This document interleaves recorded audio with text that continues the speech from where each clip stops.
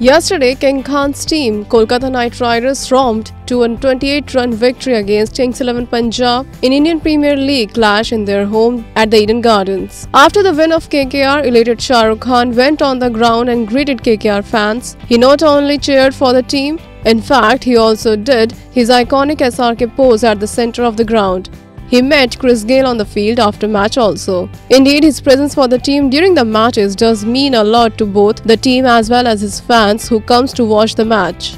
Well, Kolkata Knight Riders will play their next match against Delhi Capitals in Firozshah Kotla. IANS report.